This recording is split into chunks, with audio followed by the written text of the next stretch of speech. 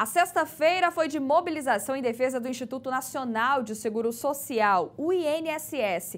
Teve protesto em várias capitais do país, mas aqui em Goiás, em Aparecida de Goiânia, onde estava prevista a manifestação, a situação foi bem diferente do que era esperado. O que era para ser parte de uma manifestação nacional reuniu poucas pessoas e revoltou quem estava com horário agendado na agência do INSS em Aparecida de Goiânia. É preciso A Nilda acordou cedo, tinha horário marcado para a perícia, mas teve seu atendimento prejudicado por causa do protesto. Hoje, infelizmente, está difícil. Meu horário está marcado às 8, a CUT está aqui com esse barulho intenso. Infelizmente, os médicos tiveram que parar.